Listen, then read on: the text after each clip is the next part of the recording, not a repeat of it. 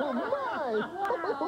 Those are terrific. Well, Barney, I'm going to have to leave in a few minutes. Oh, okay. But before I do, there's one more thing I've got to do. Oh, what's that? Well, I've got to put a picture on the pad on the easel. Oh, okay. All right. Oh, boy. Now, I like to draw animals. Uh-huh. And I think what I'm going to do is draw an animal, and you try to guess what it is while I'm drawing it. Oh, goody. All I'm gonna get the okay. Oh. All right, here I go. Okay. It's going to have two pointed ears Ears. And two little dots for an eye, Uh-huh. a Y for the nose, Mm. and a curved line for the mouth, See know what it is. and then some whiskers. Oh, and a nice round face and little squiggles for its ears. and then little feet and a little round body and a great big huge furry tail. Tail. Oh. There. the cat, that's right. He's such a cute little cat. now, one more important thing. You know what artists have to do when they finish pictures?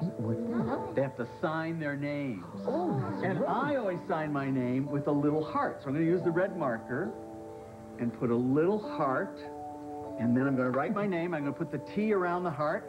So it's T O M I E. Tomie. And there we are. Oh, Thank you great. for So listen, Barney, it was so good to be here with you. Oh, thank you so much. Thank and you. I hope I see you again, oh, okay? Okay. Great. All right. We really Take care. fun, All Tomie. That was fun. Bye-bye, Barney.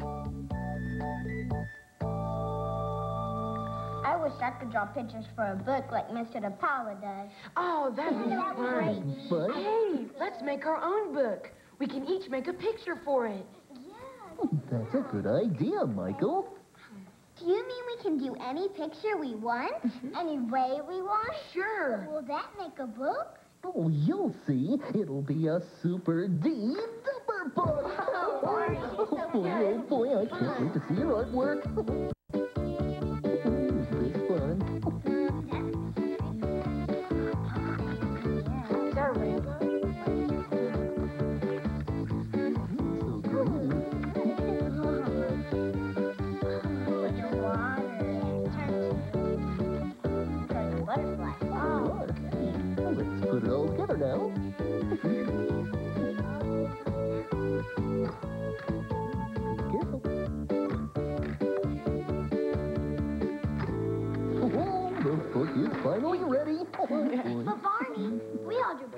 different things. How can we make a story out of that? We can if we use our imaginations, Sean. I think our story will be funny and silly. Just listen. our silly book with words by Barney and illustrations by Tasha, Julie, Sean, and Michael. Once upon a time, there was an elephant. Uh, a baby elephant named Andrew. Even though he was a baby, Andrew was big and had a very long trunk. Every day, Andrew played with his friend, Edward the monkey. Edward loved to eat bananas. he would peel them slowly and then gobble them up as quickly as you can say banana. Sometimes Edward wasn't careful where he threw his banana peels, and Andrew would slip on them. One day, Andrew came upon some beautiful flowers. They were red and blue and yellow and orange and purple, lots of pretty colors. Andrew decided to pick the flowers and carry them home to his mother, holding them in his trunk. What happened then, Barney? On the way home, a beautiful butterfly saw the flowers that Andrew was carrying home to his mother. The butterfly wanted to smell the flowers, so she landed right on Andrew's trunk. But her wings tickled his nose, and that made him sneeze. Uh, uh, uh, uh. Suddenly, Andrew was sad.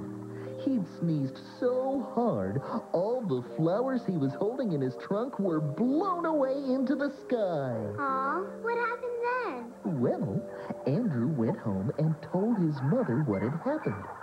She just smiled and pointed up to the sky. What did they see? Up above them was a beautiful rainbow. It had all the colors of the flowers that Andrew had blown into the sky when he sneezed. His mother loved that rainbow. So, every time you see a rainbow, you'll know that somewhere a baby elephant was carrying flowers home to his mother and accidentally sneezed them all into the sky. I liked our silly book. It's fun to be silly, isn't it, Barney? it sure is, Julie. Why, we can be silly from our heads right down to our toes. That's right. Would you like me to show you how to make some silly, teeny, tiny toes? Hmm? How teeny tiny? Really itsy bitsy small. I'll make baby footprints. Baby footprints? What are those?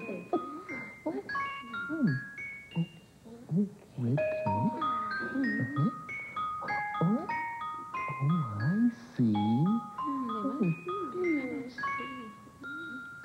oh toes. Oh, Toes, yeah. one, two, three, four, five.